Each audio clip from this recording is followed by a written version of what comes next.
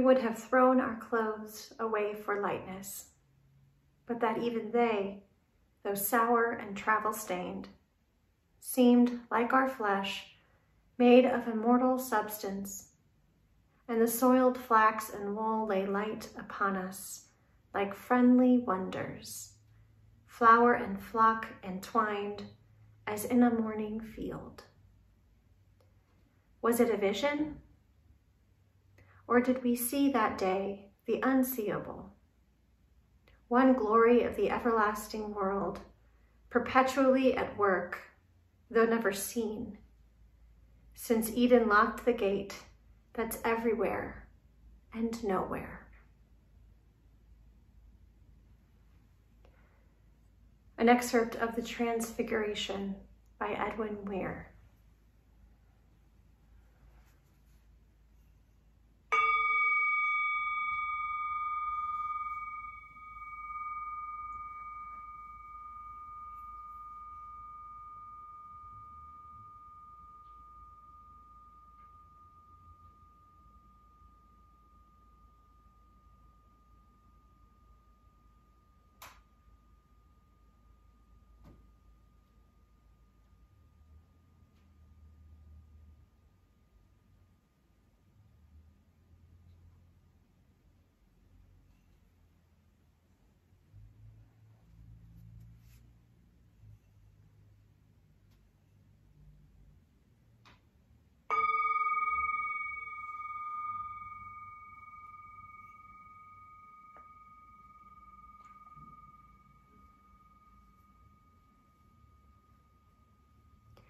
Hello and welcome to a contemplative service with music in the spirit of Taizé. My name is Carrie Grace Littauer and I'm joined today by Kester Limner and Andy Myers, musicians and parishioners at St. Andrew's Episcopal Church in Seattle, Washington. A big thanks to, thank, to St. Andrew's for making the service possible each week. And thank you to each of you for joining us wherever you're joining us from, whatever time it is or whatever day. Uh, we're glad that you're meeting us here, and we hope this service stills your soul. And blessed be God, creator, redeemer, and spirit of love. And blessed be God's beloved community, now and forever. Grace to you and peace from God, our creator, the love at our beginning and without end, in our midst and with us now. God is with us. Here we find new life.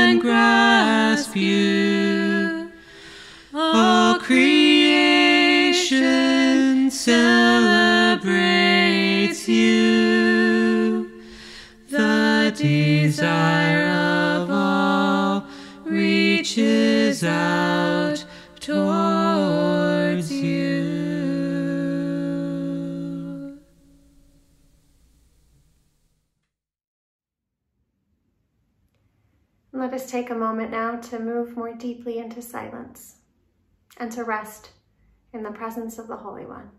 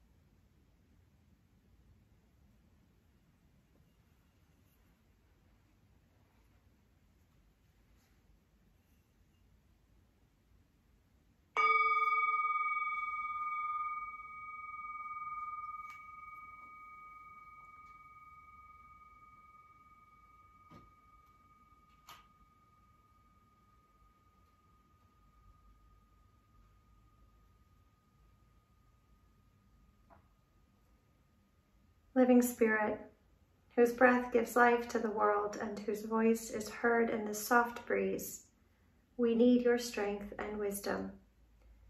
Come breathe among us and within us. Gather us with your whole creation, as together we embody the transforming love of Christ Jesus, our Redeemer. Amen.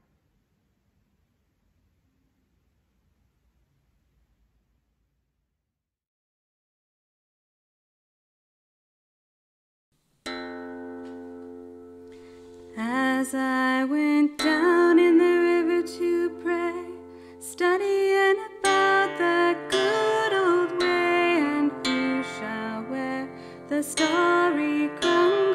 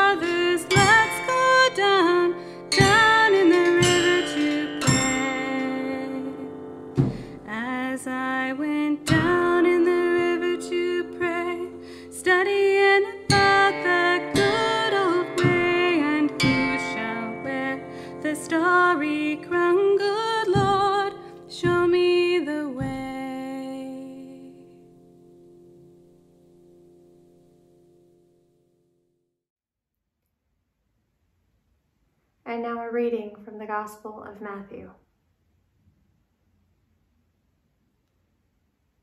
Six days later, Jesus took with him Peter and James and his brother John and led them up a high mountain by themselves.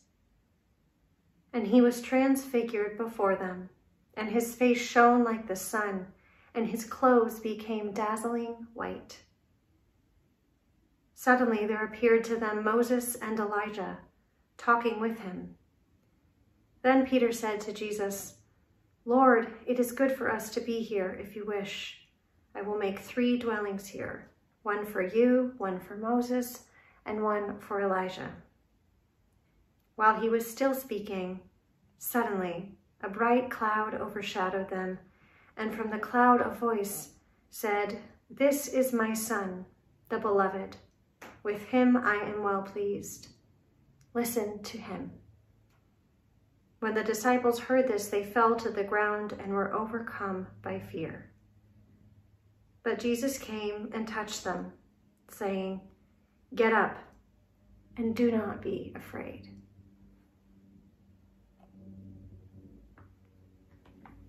The word of the Lord.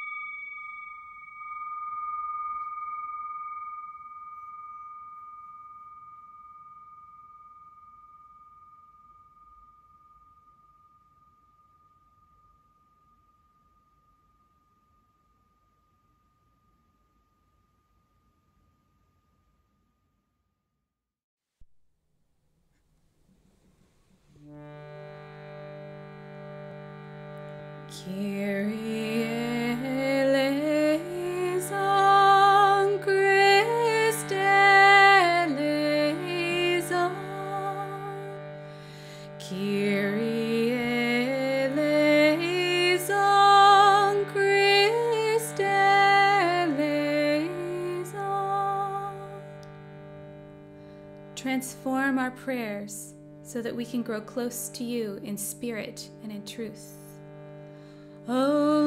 Lord, we pray. Kyrie eleison,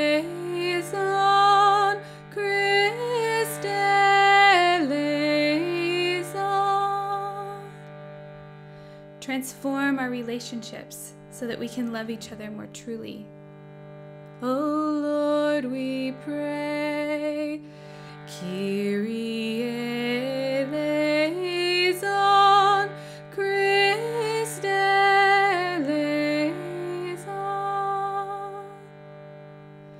Transform our bond with nature so that we can care for the earth.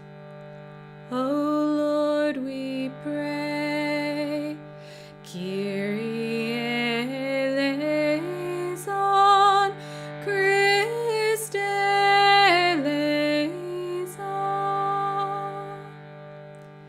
Transform our civic life so that we can work together.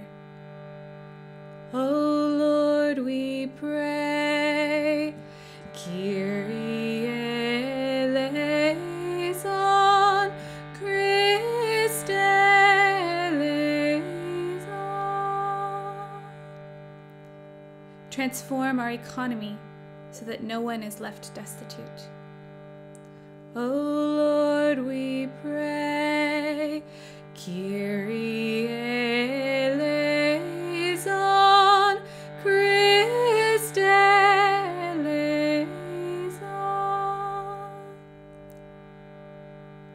Transform and renew our calling so that we can follow you and serve in joy. O Lord, we pray. Kyrie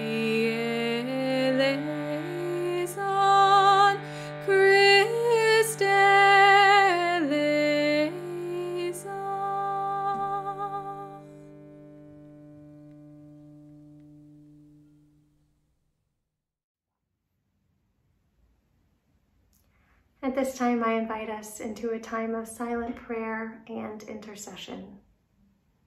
If you have any candles you'd like to light as we pray, feel free to do so. You can also pray with me as I light mine right here. Come, let us offer our hearts to the Holy One. Let us pray.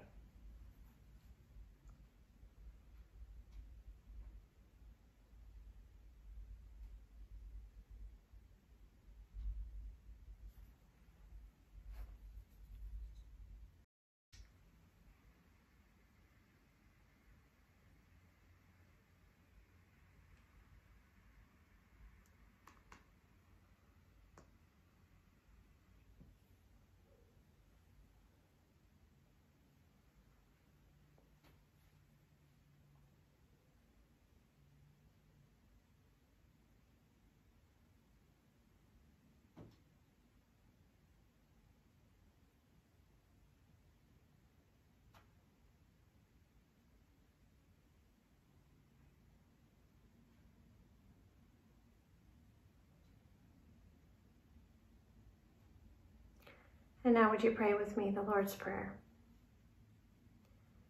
Eternal Spirit, Earth Maker, Pain Bearer, Life Giver, Source of all that is and that shall be, Father and Mother of us all, loving God, in whom is heaven. The hallowing of your name echo through the universe. The way of your justice be followed by the peoples of the world. Your heavenly will be done by all created beings. Your commonwealth of peace and freedom sustain our hope and come on earth. With the bread we need for today, feed us. In the hurts we absorb from one another, forgive us. In times of temptation and test, strengthen us. from trial too great to endure, spare us. From the grip of all that is evil, free us. For you reign in the glory of the power that is love, now and forever. Amen.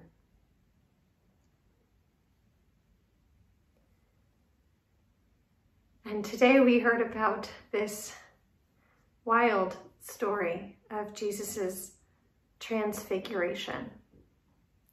This is the, the uh, scripture reading for this last Sunday in Epiphany. And I found a really wonderful, um, provocative, uh, beautiful reflection on this by uh, Steve Garnaas-Holmes on his website, unfoldinglight.net. It's called Weird. Oh, please don't explain this story. It's truly, divinely, accurately weird. Sure, there's a moral of the story, several in fact.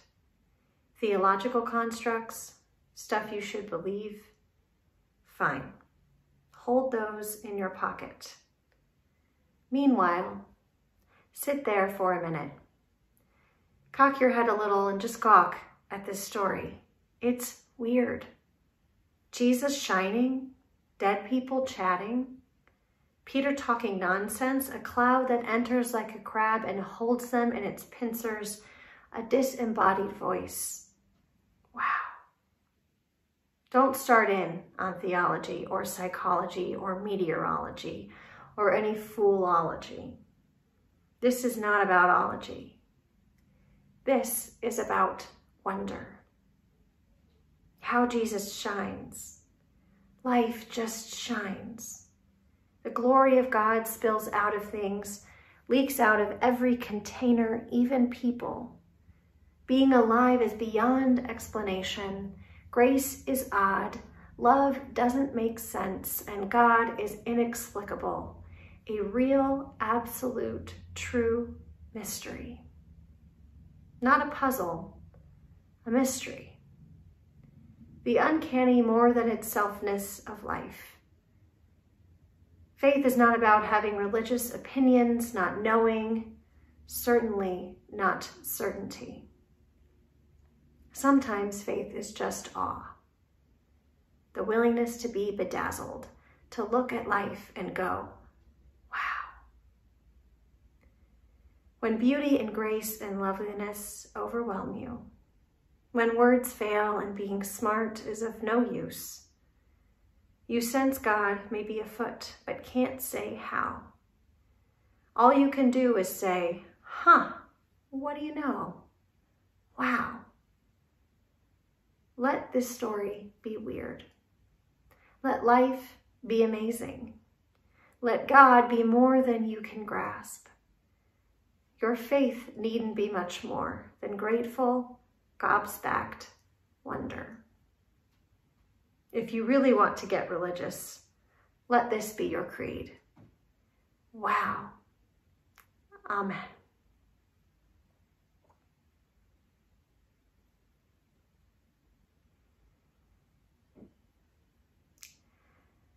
Thank you so much for taking the time to join me and us today in this service.